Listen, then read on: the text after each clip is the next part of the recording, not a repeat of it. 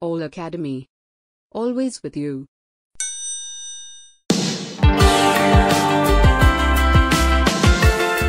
Hello my dear students, welcome to this online video lecture on basic thermodynamics. So in the previous session, we have solved the, some of the numericals on the temperature measurement concept. And today also, we're going to solve the, the numericals on this temperature measurement concepts. And similar kind of numericals are appeared in your previous university examination. So without wasting much time, let us begin with a uh, numerical. So the problem statement is a thermocouple with a uh, test junction at T degree Celsius on a gas thermometer and cold junction at 0 degree Celsius gives the output EMF as per the following relation that is E is equals to 0.20 T minus 5 into 10 raised to minus 4 T square. That is in millivolts. That is E will be in millivolts where T is a temperature. The millivoltmeter is calibrated at ice point and steam point. What temperature would this thermometer shows when a gas thermometer reads 70 degree Celsius? Now in this in this numerical, so let us take, I'll just explain you with the help of some example. Now let us take a glass of uh, any hot fluid okay? Any hot fluid. And when I use the gas thermometer to measure this temperature when I use gas thermometer it is showing 70 degrees Celsius as it is given.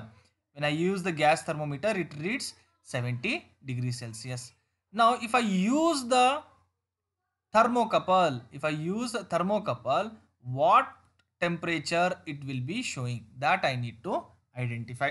What will be the temperature of this fluid when I use thermocouple? That I need to identify. Now the relation between this thermocouple, the relation for this thermocouple and temperature output is given. That is the given thing. I'll write it. Given that is E will be equals to 0.20 T minus 5 into 10 raised to minus 4 T square. Okay? Now again the uh, one more given thing is the ice point temperature is given that is 0 degree celsius. Then steam point temperature is given that is 100 degree celsius. Okay? Now the one more temperature is given that is 70 degree unknown temperature on gas thermometer now this is a relation between the thermocouple.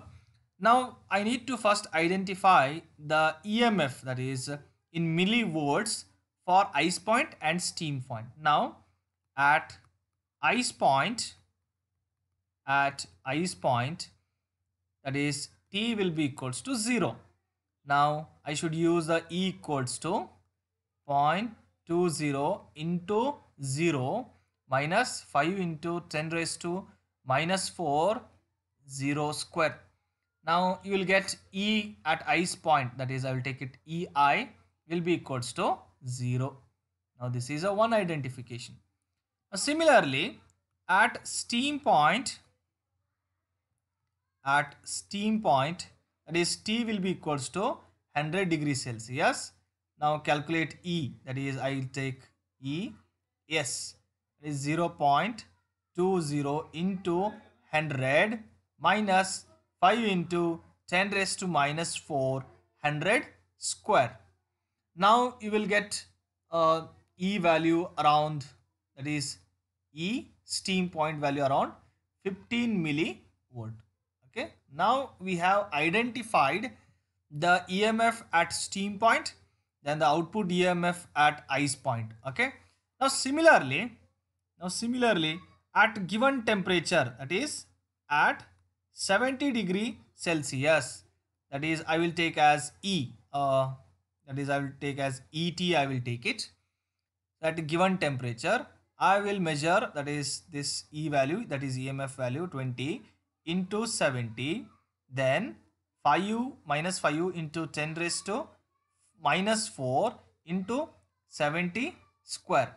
Now the ET value that is at known temperature value is around you will get it 11 point you will get it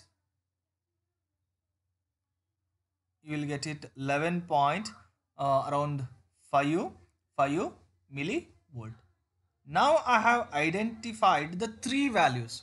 One is that is emf at ice point emf at steam point and emf at known temperature. But this is not our actual final answer i need to identify the the temperature. I need to identify this temperature i need to identify.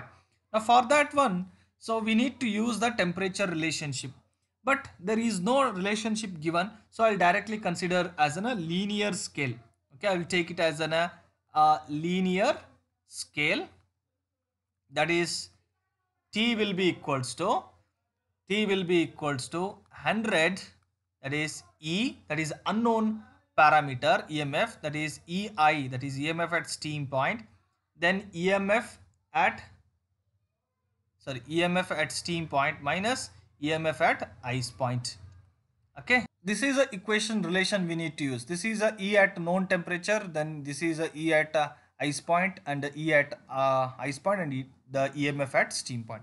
Now we have all these value. Let us substitute that t will be equals to 100 then emf at ice point that is a known point is 11.55 minus emf at ice point is 0 divided by emf at steam point is 15 minus emf at ice point will be 0 now if you simplify this one you will get a temperature around 76.7 uh, or 76.66 degree celsius.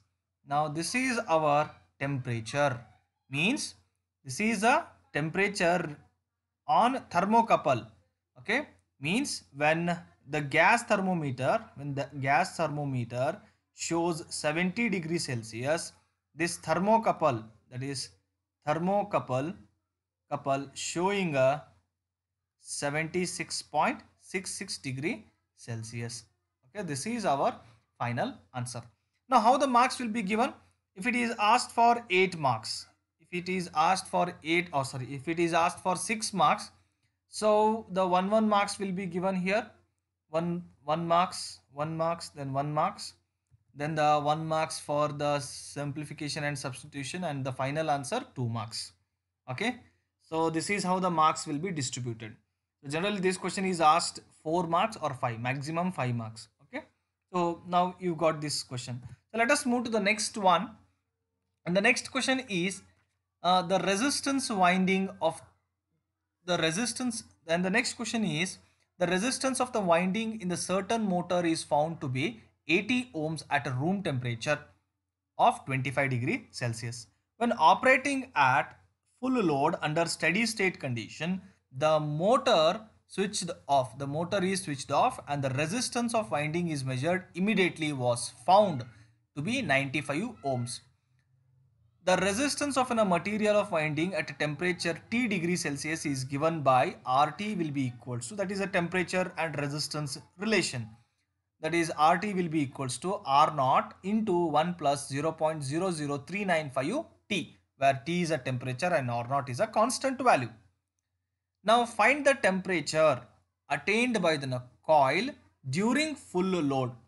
Now this is a, a very simple question but you need to understand what is exactly the question is. Because hardly only two step uh, answer is there but you need to uh, analyze what should be identified. Now in this problem so there is a given. I'll write it. Okay i will take color i'll change the color. Okay. Now in this one uh, what is a given thing? So he has given the temperature and resistance equation. That is rt will be equals to r naught 1 plus 0 0.0000039 T. So he has given some temperature. Okay, he has given some temperature relation with the resistance. Now here the T is a temperature, R naught is a constant value. I need to identify. So he says that it's the resistance winding showing 80 ohms at room temperature means uh, that is RT it is 80 ohms at 25 degrees Celsius. Now at full load at full load okay that is full load RT is showing 95 ohms I need to identify this temperature. Okay, I need to, what will be this the temperature when it is showing full load? What will be the temperature I need to identify? So that I need to identify in this numerical. Now we are having the two temperature and the one uh, ohm at one condition. Similarly, the the resistance, the the resistance winding at another condition. But I don't know what is the temperature. For that one, so I will take the equation directly write it. Okay, I'll write that is at 25 degrees Celsius. Yes. At 25 degrees Celsius, Yes. what is our main equation? That is RT will be equals to R naught into 1 plus 0 0.00395 T. Okay, this is our main. At, at 25 degrees Celsius, as it is clearly given in the problem statement, it is showing 80 ohms and R naught is a constant value. It is clearly mentioned. Then 0 0.00395 T value is a 25 degree Celsius. Okay, this is a given. Now, similarly, at full load condition but I don't know what is the temperature at full load condition it is showing 95 ohms and R naught same thing then 0 0 0.00395 I don't know what is a full load condition temperature okay. Now I have if I divide let us consider this as equation 1 and this as a equation 2 let us divide let us divide equation 1 by equation 2 that is 80 divided by 95 will be equals to r naught then r naught plus sorry into 1 plus 0 0.00395 25 then 1 plus 0 0.00395 TFL. Okay. Now if I simplify this one, if I simplify this equation, here R0 and R0 will get cancelled. The left out term will be the 80 by 95 and these value. So now you can easily identify the TFL that is temperature temperature at full load at full load you can easily identify that will be in temperature in degree Celsius. So I will just leave a blank for this answer.